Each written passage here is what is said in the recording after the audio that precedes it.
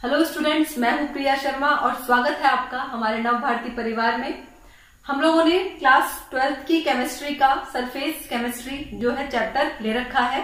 आज जो टॉपिक हम लोग पढ़ेंगे, वो पढ़ेंगे एड्सॉर्प्शन आइसोथर्म एड्सॉर्प्शन आइसोथर्म का फुल नेम है फ्रेंड विच एड्सॉर्प्शन आइसोथर्म तो चलिए देखते हैं इसके अंदर क्या है और क्या हमें चीज़ें सीखने को मिलेंगी। तो देखिए, क्या कहता है फ्रेंडलिच एड्सॉर्प्शन आइसोथर्म? बेसिकली इसके अंदर ये बताया गया है कि सबसे ज़्यादा जो है, अगर हम चाहते हैं कि गैस का एड्सॉर्प्शन ज़्यादा हो सरफेस पे, गैस का एड्सॉर्प्शन अगर ज़्यादा हो तो हमें क्या करना पड़ेगा? प्रेशर को इंक्रीज करना पड़ेगा। देखिए, इस आइसोथर्म के अंदर, इस एड्सॉर्प्शन आइसोथर्म का जो मेन मोटिव है वो है कि इन्होंने एक ग्राफ दिया था। वो क्या ग्राफ था? A graph drawn between extent of adsorption and the pressure of the gas at constant temperature basically इन्होंने ग्राफ दिया था जो कि किस किस के बीच में था?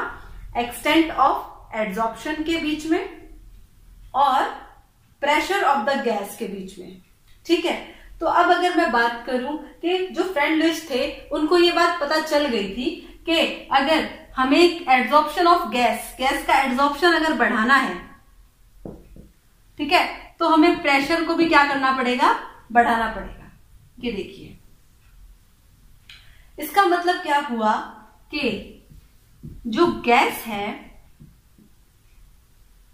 जो एड्सॉर्प्शन है गैस का सॉरी जो एड्सॉर्प्शन ऑफ़ गैस है, वो डायरेक्टली प्रोपोर्शनल किसके हो गया? प्रेशर के।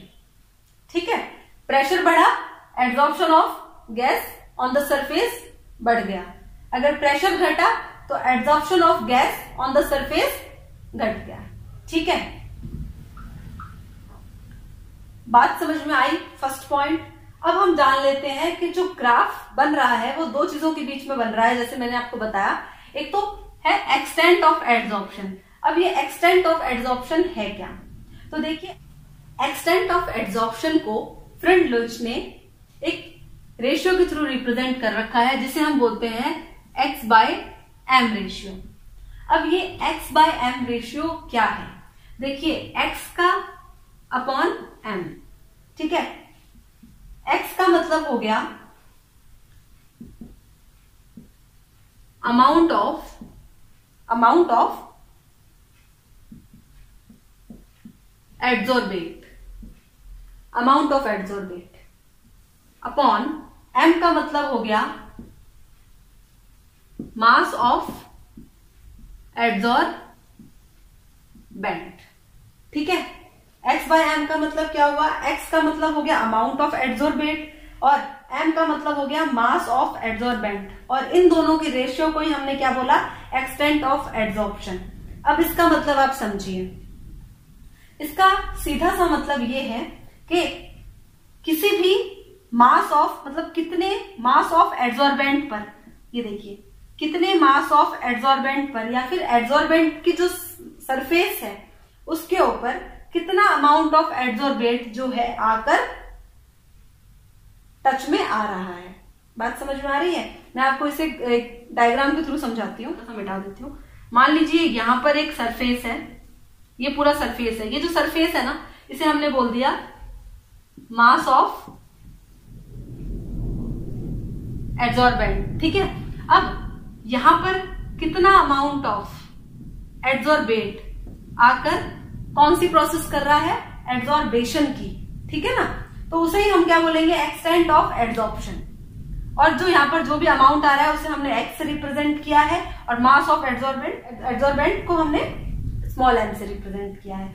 तो एक्स बाय एम को हम क्या बोल रहे हैं? एक्सटेंट ऑफ़ एड्जॉर्प्शन तो चलिए अब आगे चलते हैं। इनके बीच का एक ग्राफ भी हम लोग देख लेते हैं। बेसिकली जो फ्रेंड लिच का जो sorry basically Freundlich adsorption isotherm का जो मतलब है, वो बेसिकली ग्राफ के थ्रू जो है आपको अच्छी तरीके से और मैं समझाती हूँ।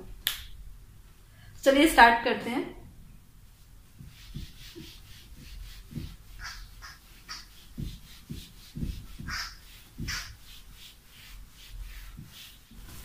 तो देखिए, हम लोग ग्राफ बना रहे हैं। किसके किसके बीच में? Graph between amount of gas adsorbed and pressure of the gas.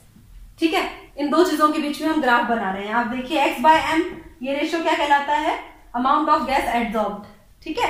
या हम बोल सकते हैं एक्सटेंट ऑफ़ एड्सॉर्प्शन ठीक है? और ये है प्रेशर यहाँ पर मैंने पीएस लगाया है। पीएस का मतलब हो रहा है कि सेचुरेट जहाँ पर सेचुरेशन की सिचुएशन आ जाती है। ठीक है ना? कि जिसके आगे अगर हम प्रेशर लगाएँगे भी तो कोई फ़र्क नहीं पड़ेगा। ठीक है? पीएस ऐसा प्रेशर जहाँ पर सेचुरेशन की पोजीशन आ रही है। ठीक है? अब अगर हम बात करें, ये मैंने दो रीजन लिए हैं। पहला रीजन दूसरा रीजन और ये तीसरा रीजन है। पहला रीजन पहला रीजन जो है वो है यहाँ पर लो प्रेशर यहाँ पर हम कैसा प्रेशर लगा रहे हैं? लो प्रेशर जो बीच का रीजन है, उसमें मैं लगा रही हूँ कैसा बीच का? मतलब इंटरमीडिएट कैसा प्रेशर है? इंटरमीडिएट अगर यहाँ की बात करें पीएस के बाद में आफ्टर सेचुरेशन कैसा है? हाई प्रेशर यहाँ मैंने तीन रीजन में जो है ग्राफ को डिवाइड कर दिया है। अब हमें ये देखना है कि इन तीनों रीजन के लिए क्या क्या एक्सप्रेशन आते हैं एक्स बाय एम और प्रेशर के बीच में। तो देखिए।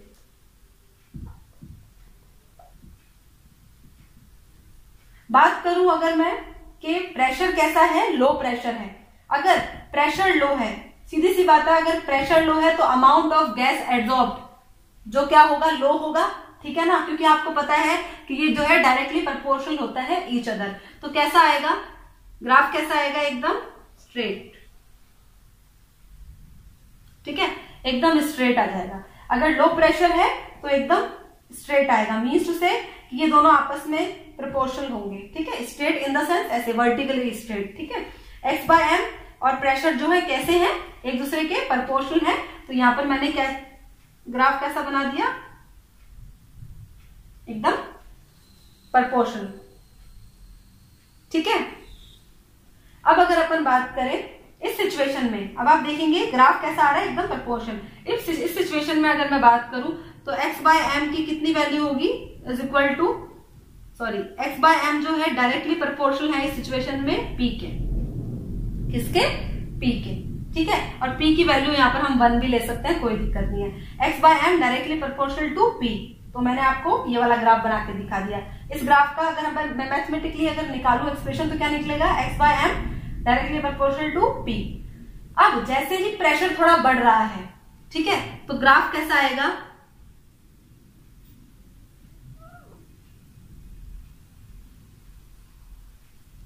पैराबोला टाइप ग्राफ आएगा। कैसा आएगा? पैराबोला टाइप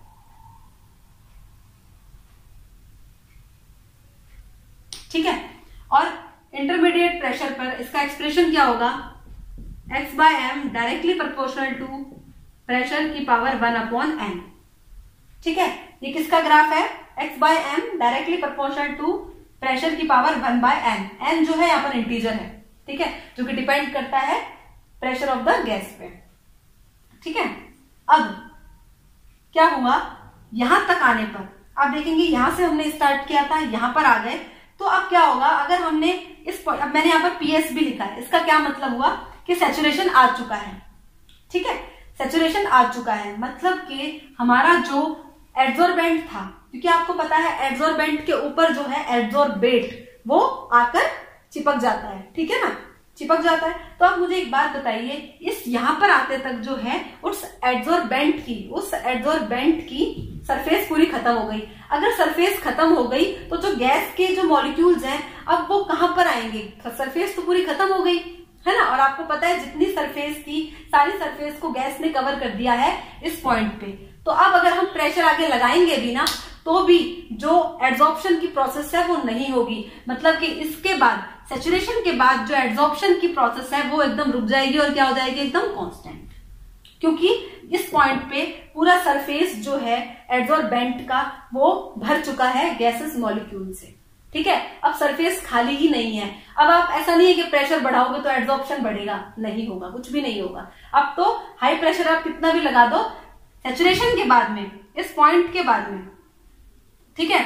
जो हमारा ग्राफ है वो कितना आएगा? एकदम स्ट्रेट और इस पोजीशन पे जो हमारा एक्स बाय एम की वैल्यू है, वो क्या होती है? Directly proportional to p not और यहाँ पर होता है पी वन ठीक है पी की पावर वन होती है, उसे मैं पी भी लगा सकती हूँ। और यहाँ पर पी की पावर ज़ीरो है। या फिर जिसको हम पी नोट भी बोलते हैं।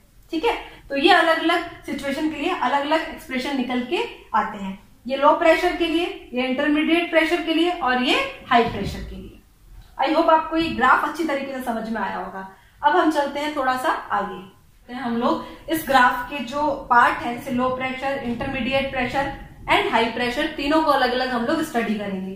तो चलिए स्टार्ट करते हैं।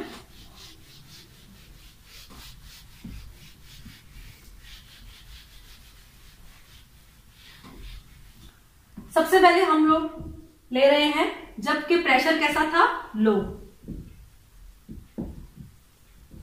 लो प्रेशर था। लो प्रेशर पे एक्सप्रेशन कैसा था? X by m directly proportional to p की पावर वन ठीक है? अब अगर ये प्रपोर्शनली साइन हटेगा तो क्या आएगा? X by m is equal to K P one ये रहे। ठीक है? के यहाँ पर क्या है? कांस्टेंट है। क्या है? कांस्टेंट बात समझ में आई? ये एक्सप्रेशन कब के लिए है? जब लो प्रेशर हो।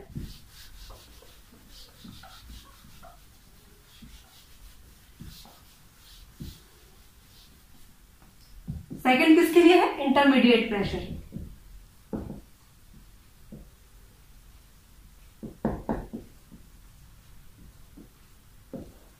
ठीक है? इंटरमीडिएट प्रेशर अब इसके लिए क्या एक्सप्रेशन आया था? मैंने अभी आपको बताया, x by m directly proportional to p की पावर वन अपॉन एन ठीक है? अब अगर मैं प्रोपोर्शनली कांस्टेंट का साइन हटाऊँगी प्रोपोर्शनली का प्रोपोर्शनल का साइन अगर मैं हटाऊँगी तो क्या आएगा के पी ठीक है? अब आप हमेशा ये बात ध्यान रखिए मैं बात करूँ वन बाय एन की वैल्यू जो है, वो लाई करेगी ज़ीरो टू वन के बीच में। ठीक है? और अगर मैं बात करूँ एन की वैल्यू वन टू इन्फिनिटी तो ये दोनों टर्म्स भी आपको ध्यान में रखना है। ठीक है?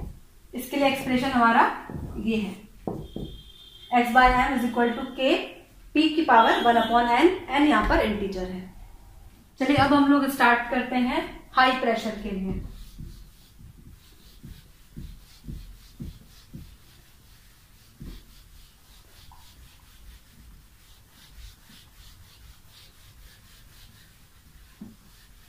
हाई प्रेशर के लिए एक्सप्रेशन क्या होगा?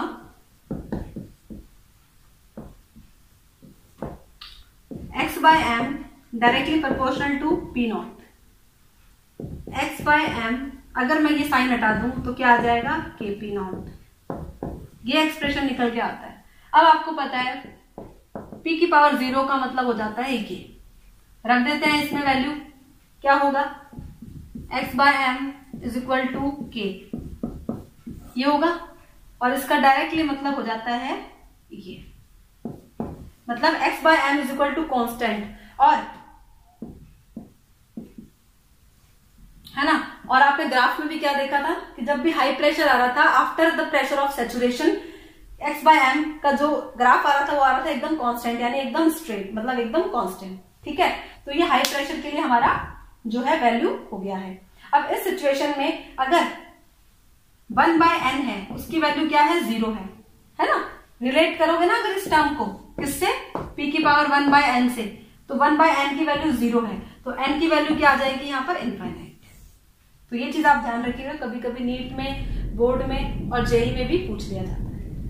अब हम लोग देखेंगे दूसरा ग्राफ, अगर हम लोगरिथम में इसको ले ले तो ठीक है? आपको पता है एक्सप्रेशन क्या था Freundlich expression x by m is equal to k p की power one by n basically इसी को ही हम क्या बोलते हैं?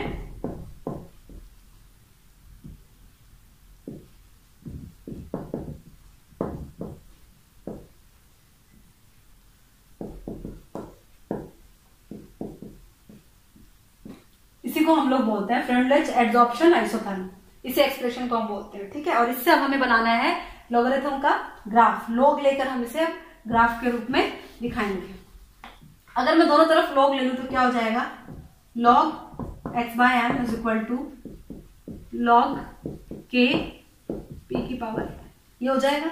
अब अगर हम करेंगे तो आगे क्या होगा? लॉग के पता है ना, जब भी बीच में मल्टीप्लाई हो लॉग हो तो ये प्लस में हो जाता है अलग अलग तो क्या होगा? Log k plus log p की पावर अब क्या होगा आगे? लॉग के प्लस ये जो टर्म है वो आगे आ जाएगी। One by n log p ये रह जाएगा बस। ठीक है? तो एक्सप्रेशन क्या आ रहा है? लॉग एफ़ बाय एम का बात समझ में आई? है ना? अब इसे हम एक स्ट्रेट लाइन की जो इक्वेशन होती है, उससे भी रिलेट कर सकते हैं। Y is equal to c plus m x c यहाँ पर कांस्टेंट है। ठीक है? बात आई समझ में? ये पूरा एक्सप्रेशन हमारा निकल के आता है, अगर हम लॉग में लेते हैं। अब मैं आपको बताती हूँ कि इसके थ्रू हमें ग्राफ कैसे बनाना है। ठीक है? तो ग्राफ किस किस के बीच बनेगा? लॉग एक्स बाय एम और लॉग पी यानी प्रेशर के बीच में। तो चलिए स्टार्ट करते हैं।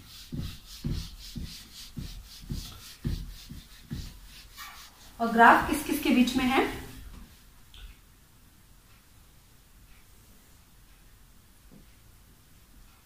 लॉग एक्स बाय एम के बीच में और लॉग